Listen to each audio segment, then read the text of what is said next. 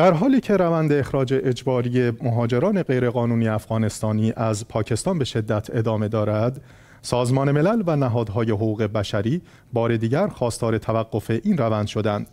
کمیساریای عالی پناهندگان سازمان ملل گفته اخراج هزاران پناهجو که از ترس جانشان فرار کرده بودند با برگشت به افغانستان زندگیشان با تهدید مواجه شوند. سازمان عفو بین هم با نشر اعلامیه از پاکستان خواسته است که تداوم بازداشت، اخراج و آزار و اذیت مهاجران و پناهجویان افغانستانی را به صورت فوری متوقف کنند. این نهاد گفته اگر دولت پاکستان فورا اخراج ها را متوقف نکند، هزاران افغان در معرض خطر به ویژه زنان و دختران را از دسترسی به امنیت، آموزش و معیشت محروم خواهد کرد. همزمان با این موضوع وزیر اطلاعات بلوچستان پاکستان هشدار داده که به زودی روند اخراج پناهجویان افغانستانی هم آغاز خواهد شد.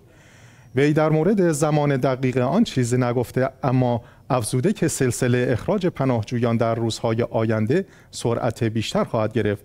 دفتر هماهنگی امور کمک های بشری ملل متحد اوچا در گزارشی گفته است که از آغاز ماه نوامبر تا کنون هر روز بین 20 تا 21 هزار پناهجوی افغان که 60 درصد آنها کودکان هستند از طریق مرز سپین بولک و تورخم به افغانستان باز میگردند دو روز قبل سازمان ملل در گزارش اعلام کرده بود که هزاران پناهجوی برگشت از پاکستان با کمبود سرپناه، غذا و آب آشامیدنی مواجه هستند.